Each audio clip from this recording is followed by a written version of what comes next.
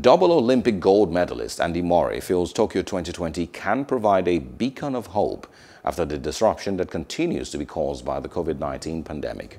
Murray is set to take part in his fourth games as he looks to defend the singles title he won at London in 2012 and then successfully retained four years later in Rio. Delayed by a year due to the global pandemic and due to be played out in front of no spectators in Japan, Murray is excited to compete as he bids to build momentum following his injury problems.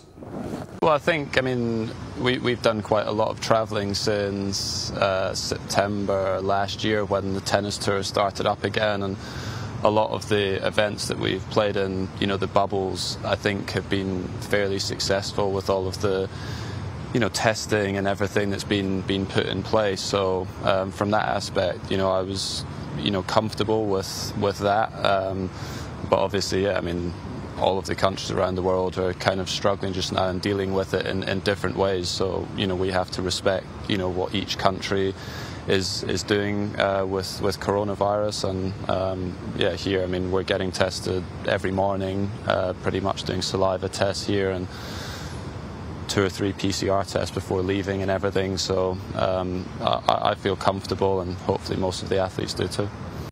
Hello, hope you enjoyed the news. Please do subscribe to our YouTube channel and don't forget to hit the notification button so you get notified about fresh news updates.